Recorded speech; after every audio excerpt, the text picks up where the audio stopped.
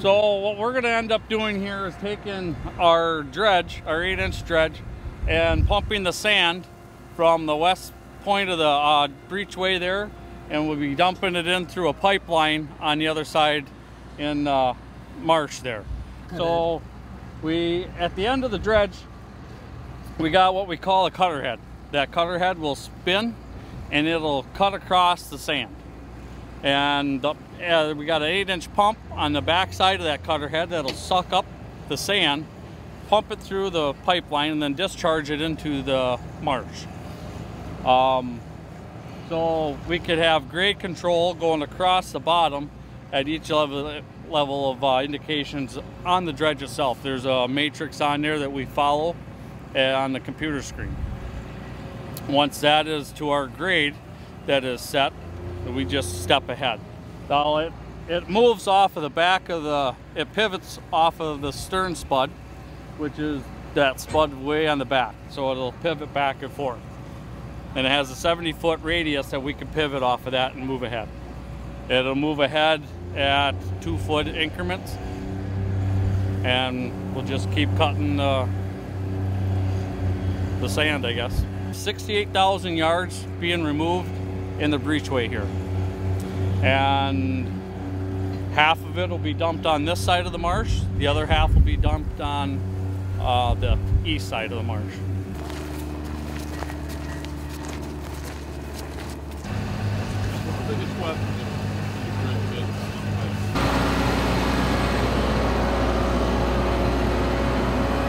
Bob, you see the uh, excavator out there? See how it's set up?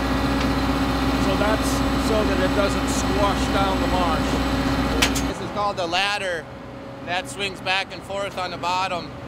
And on the end's that cutter head, and that'll sit and chew across that bottom and make that into a slurry. There's a pump right there, and that's what pulls it in and sends it right out back. Right now he's setting himself over for another cut. He can make all his movements just with this ladder and his kicker spud. So there's your cutter head that spins around. There's teeth on there, chews it all up real nice. Makes a good slurry. So after it leaves the dredge, it follows this pipeline all the way around onto the bank. And then right past that excavator, a big pile of sand, that's where all the discharge is. And all the slurry pumps in there, the sand's heavy enough, it settles down and the water rushes out and then we just grade it out to wherever we want it, where it's pretty slick. So here you can see the computer monitors where that cutter head is at all times. And he uh, keeps it at a certain level. Yep. So here's your cutter head, which is at the end of the ladder. That's cutting through the material. And GPS is linked to that. And wherever he picks it up or down to, that'll move to that level. So he follows a line. And that line is the grade we want the material to be after we're done.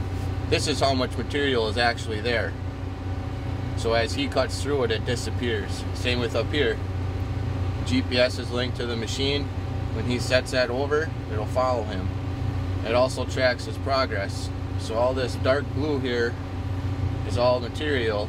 And after he goes through it, it turns to a different color so he knows that he already went through that material.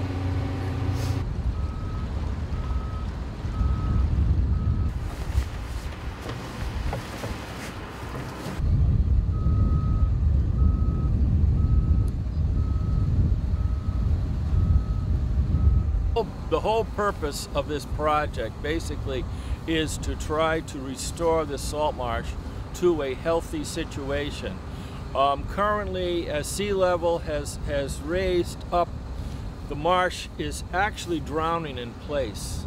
The, um, instead of it draining properly at a low tide, it's, con it's got big puddles of water in it, and you get algae and so forth that kills the vegetation in there.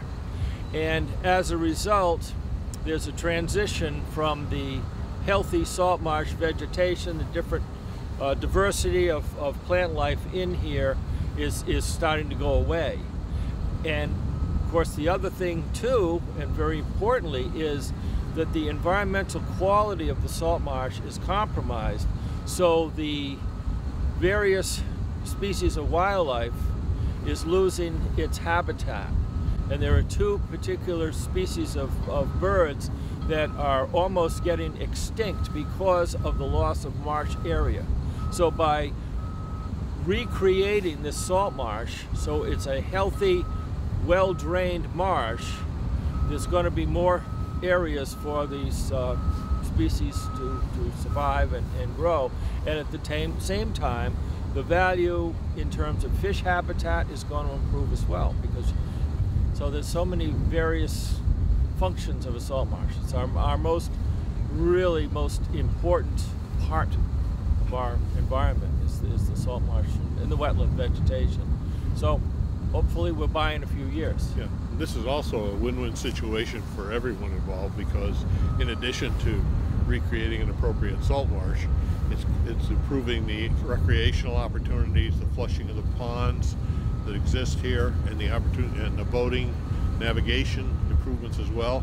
So it's essentially a project like this is win-win. It's a win for the environment. It's a win for the recreational and continued usage of these uh, very, very important salt ponds. These but by having a good flow in and out of the breachway in these channels, it freshens the water, it dilutes the high nitrate concentration. So again, it makes for a, a healthier pond. Well, Bob, what you're seeing here is the uh, the west side, I mean the east side of the uh, of the salt marsh being worked at. That's the second phase. Uh, the main channel is now being dredged and the material is coming into this end of the uh, marsh area. Most of this marsh area is state and government owned, also owned by uh, some private conservation trusts. Um, during the Depression era, they did a lot of mosquito uh, trenching in this area. And of course, we know now over time that that wasn't a good practice to be in. And uh, so what it did is it caused a lot of shoaling and again, um, uh, blockage of the, uh, the flow and proper drainage of the salt marsh. So the preparation for this project, elevations were taken throughout this marsh area and the essentially the sinkholes, if you will, and pans were identified and they will receive more of the material vertically than some of the other spots. So we will have a well uh, drained marsh when we're all set, when it's all said and done. Uh, in most cases, the layer of material that's placed on the marsh will be uh, thin enough that the existing vegetation will grow through it and, and again re restore a healthy marsh area. Other areas that re receive more material with more of a vertical difference will have to be replanted. So in uh, May, usually in May, April, May, June area, uh, teams of volunteers will come out and revegetate the, uh, the uh, plant life that needs to be done. And this is all uh, being done by, uh, you know, competent biologists that know the uh, wetland ecology here. So the big uh, excavator over there actually is needed to move the pipe. And you can actually hear the, the material coming through the pipe now. Of course, about 85% of what's coming through here is actually seawater you know, with the, with the sand mixed in. And so right now they're working on that elevation and they'll be working on that, that phase of the project. The west side phase is pretty well set up now. The west channel is done. So now we're focusing on the east side. And, and this is actually the main channel that will be restored here. Um, most of the material that, that'll be planted comes from a, uh, a nursery down in New Jersey. But we also have a little pilot program of local high school students that are also learning to grow marsh grass in their agriculture uh, vocational program. So they too will be involved in the, in the uh, replanting of the marsh. So it's January 6th and um, we're going to head out from uh, Ocean House Marina down to the Charlestown Breachway to check out uh, the staging up of uh, the dredging that's going to be uh, starting uh, this week. Um, this was a maintenance dredging uh, of the breachway area that is being funded by the town of Charlestown in its entirety.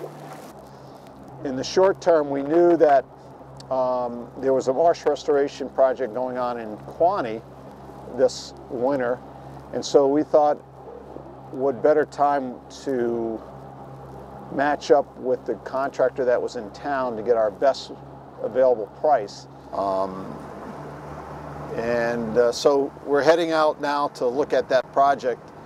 Uh, it's kind of in its infancy.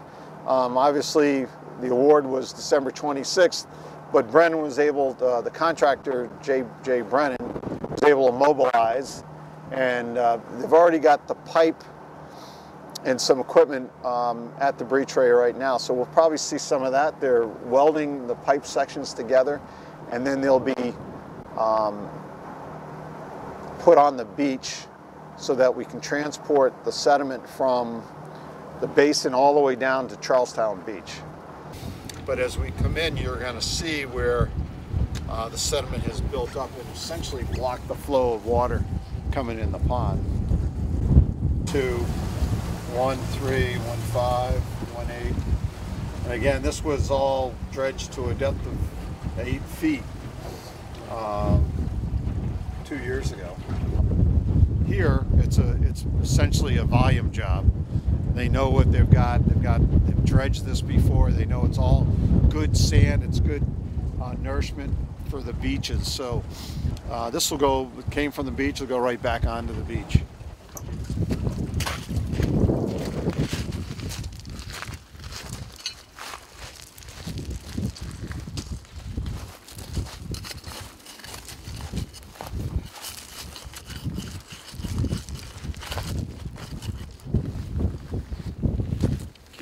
over it. But this um, pipe will then come out of the water right here, just like you have it now, and it'll go out onto the beach and all the way down to Charlestown Beach. We had to get permission from every property owner along the beach so that we can run the pipe above the high water mark so it doesn't risk uh, uh, of being um, uh, on a storm if there's a storm event that doesn't get washed into the ocean. So here we are again. Uh, Charlestown Breachway, um, again, thanks to a lot of hard work, particularly the Charlestown government, CRMC, we were able to realize that there was a problem developing, shoaling up the, uh, the breachway, which wasn't dredged that long ago. So fortunately, the town of Charlestown and all the folks that work together, Salt Ponds Coalition, uh, many volunteers, the Harbor Commission in Charlestown, everybody that pitched in that was able to have the funds to make this happen. So while Brennan is in the area, we have a chance to get this uh, sandbar uh, dredged out. We don't know really what caused it to happen, you know, in such a short time, but uh, it blocked up the breachway. So now that we have the apparatus in here and that area will be cleaned up and that will improve the flow into uh, Ninigret Pond, which is absolutely critical to the water quality and health of the pond. So thank goodness all the moons lined up and uh, there was sufficient funds and Brennan was right here in town to be able to do this, so this uh, is working out very, very well. Of course, the material coming from this operation is going out for beach replenishment, which is always needed uh, particularly in this, in this part of the area.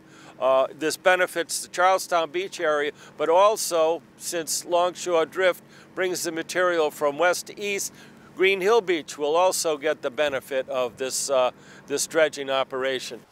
Okay, well, this is uh, the end, end result of the, uh, of the dredging operation. The pipe is going down uh, right along the high tide line of Charlestown Beach um, and the material be, will be used for beach nourishment, which is a really good thing.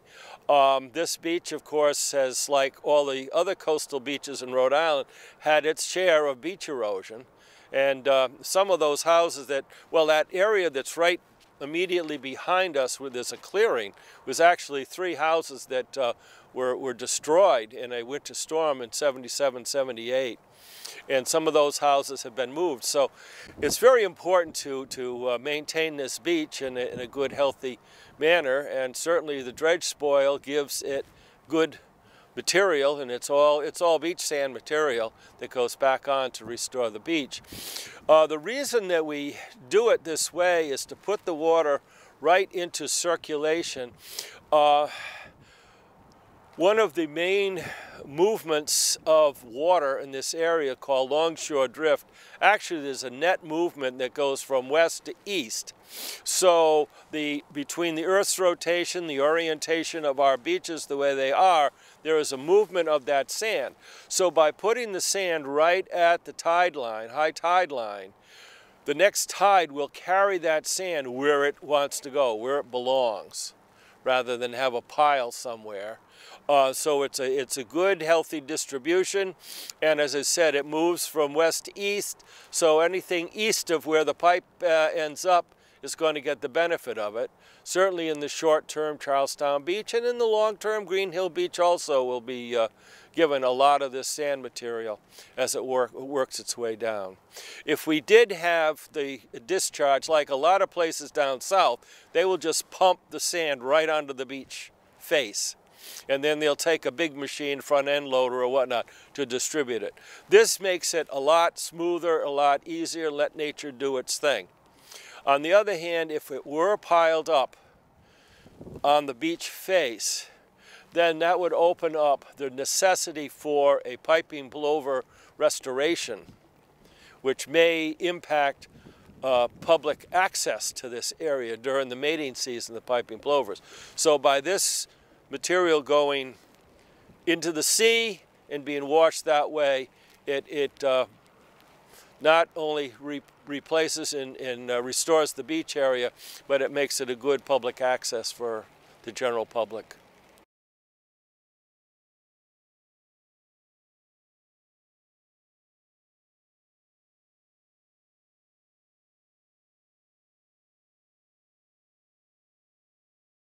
Today we're here planting marsh grass out on Quonnie Marsh. Uh, it's the next phase in the Quonochontaug Marsh Restoration Project. It started with the dredging and now we're up here on the marsh.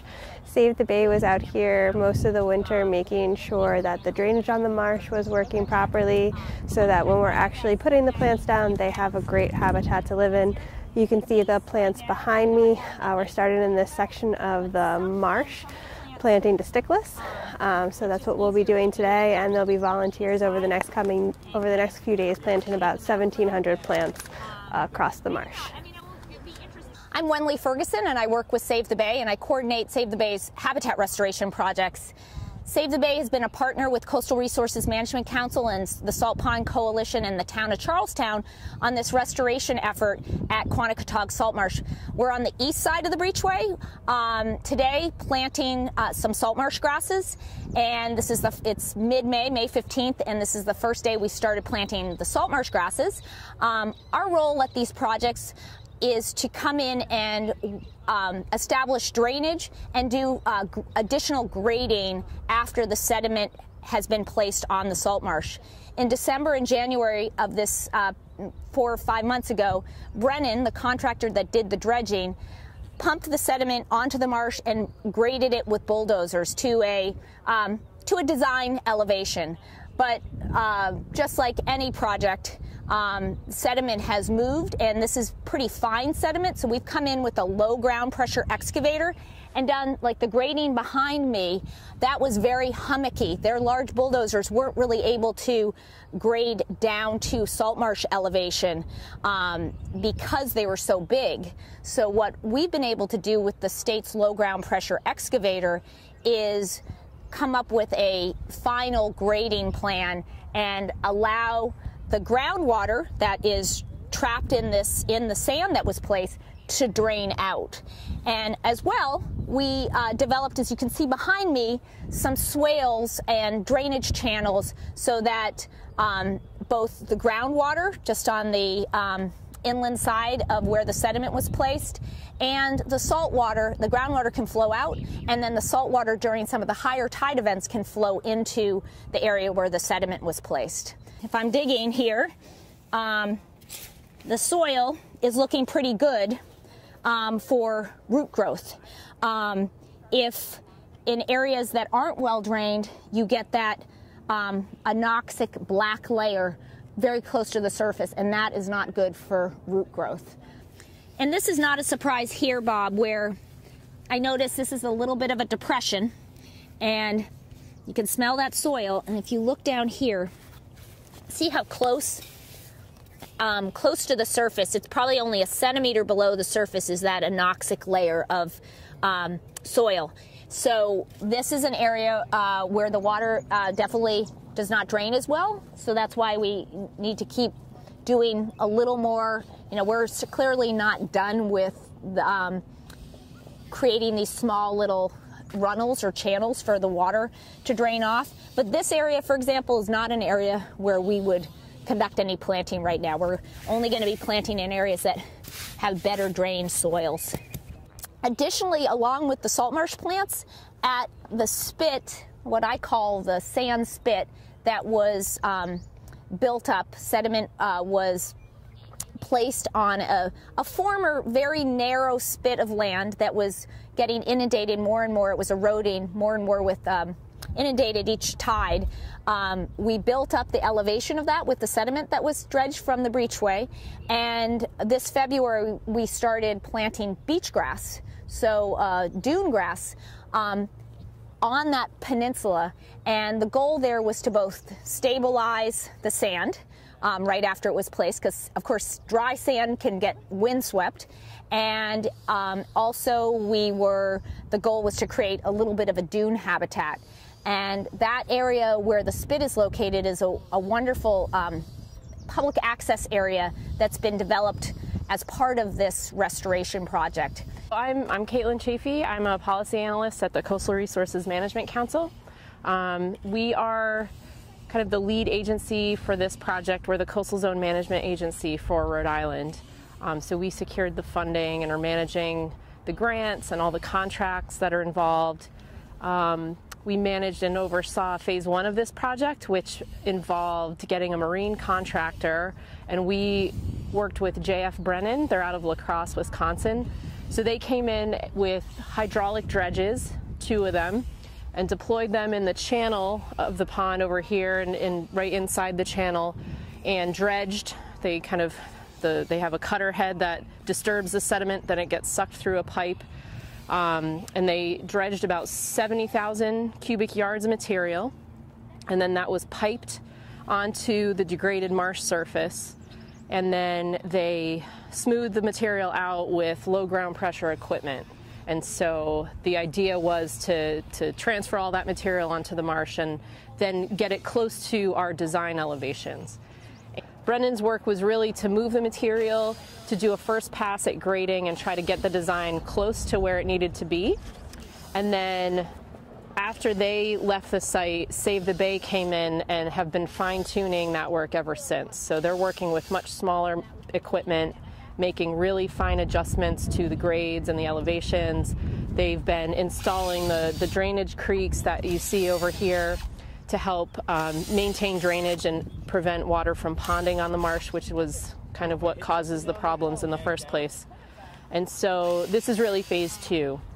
And we really couldn't do it without both both teams of people. So Brennan was a great contractor to work with. They have the right equipment and um, and then, but it's really necessary to have that kind of second pass where you can fine tune things and see where things are settling out and go back and kind of fix whatever needs to be fixed. So Save the Bay has been great um, helping us with that. And then, and then they're of course leading the planting effort, which is starting now. So, so if all goes well, we'll hopefully see some natural regrowth this year. But um, if it's anything like the project over in Ninigret that we did, and that was um, done in 2017, um, really next year is when things will probably start to take off in terms of plant growth. So fingers crossed that'll happen at Quonnie as well. Uh, my name is Suzanne Paton, and I'm a biologist with the U.S. Fish and Wildlife Service. Uh, the Fish and Wildlife Service has been very concerned about a species called the salt marsh sparrow. It's a species that nests only in coastal salt marshes.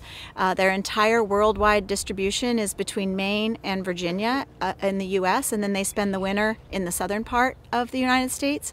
So we have a big responsibility here in the Northeast for that for that species. Um, and we have recent research um, coming out of several universities, including the University of Connecticut, is showing that their populations have declined by 85% in the last 20 years. So this site at Quonnie um, had I believe almost no. I mean, there might have been, I remember walking out here, there were some small, really small patches of vegetation, but there was essentially no remaining habitat that was suitable for the salt marsh sparrow to nest in. So the, this site was selected to receive sediment, and the idea is that we'll build the elevation of the marsh, help it to revegetate. Um, in some places where it's just a thin layer of sediment, we expect the marsh vegetation to grow right up through. Um, and in other places, we're going to be planting to jumpstart the vegetation um, so that we can use it to help our marshes um, keep up into the future. So we'll still have marshes here in Rhode Island and, and elsewhere. Um, and hopefully we'll have the right kind of marshes that the salt marsh sparrow can use so that we don't risk losing them altogether.